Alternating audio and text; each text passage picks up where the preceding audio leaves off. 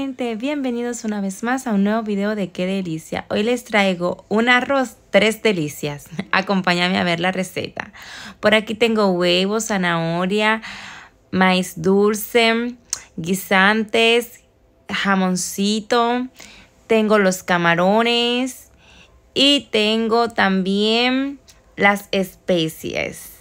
Por ahí están los huevitos, eh, salsa china, Así que nada, vamos a la receta, vamos allá.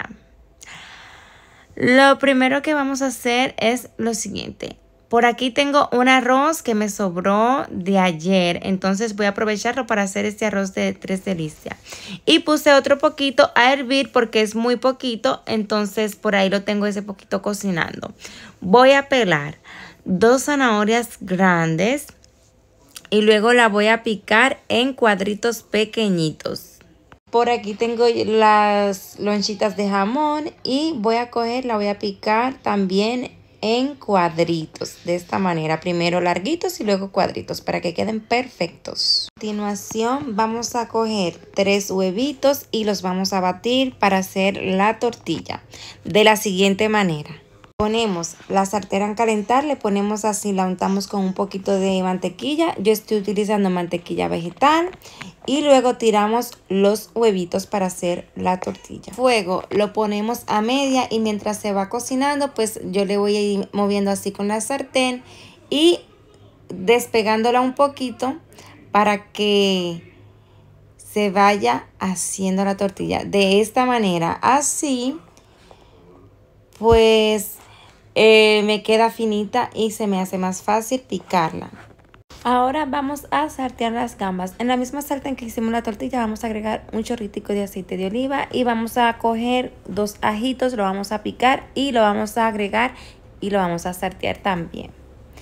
Luego cuando se haya sofrito em, y estén doraditos los ajitos, entonces agregamos las gambas. Vamos a agregar una pizca de sal y vamos a cocinar por aproximadamente 3 minutos. No se pasen de los 3 minutos porque entonces se pasa de cocción y se les queda dura. Recuerden que luego la vamos a cocinar con los demás ingredientes. Agregamos un poquito de perejil y listo, reservamos. Por aquí tenemos la tortilla que ya se ha enfriado. La vamos a picar ahora en cuadritos. Continuamos. Aquí en la misma sartén donde yo estoy salteando todo y haciendo todo, voy a poner un chorrito más de aceite y voy a saltear las zanahorias. Las salteé por aproximadamente 3 minutitos. Ahora voy a agregar el jamón. y lo vamos a sofreír junto, junto con esto. Recuerda que me puedes seguir en mis demás plataformas. Estoy en YouTube, TikTok, Instagram y Facebook como Que Delicia 3103. No te olvides activar la campanita para que te avise cuando haya subido un nuevo video.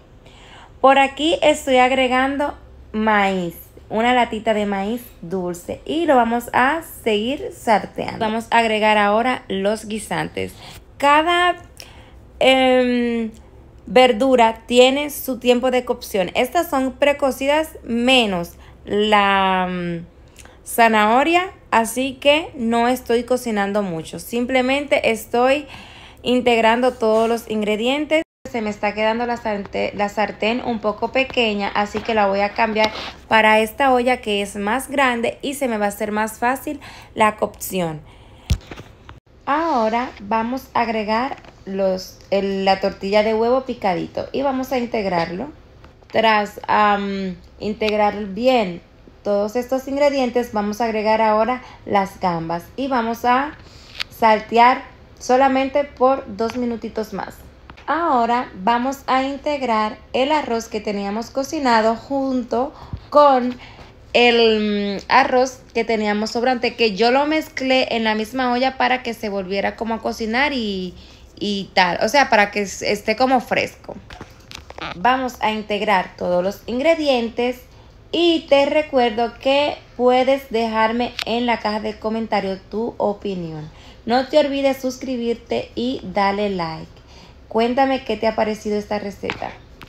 Ahora voy a agregar la salsa de soya. Agregue a su gusto, yo estoy agregando un, un buen poquito, o sea, como un cuarto más o menos, porque esta es potente y van a ver cómo me va a quedar esta rica receta. Miren, ahí ya está todo integrado, lo voy a tapar y lo voy a dejar que se cocine por 5 minutitos más.